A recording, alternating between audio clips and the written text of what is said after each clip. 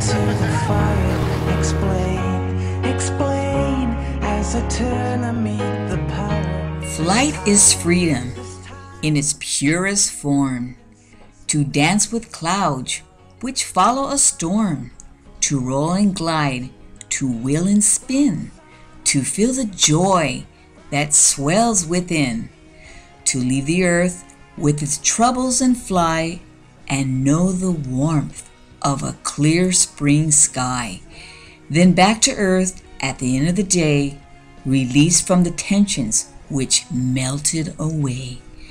Should my end come while I'm in flight, whether brightest day or darkest night, spare me no pity and shrug off the pain, secure in the knowledge that I'd do it again.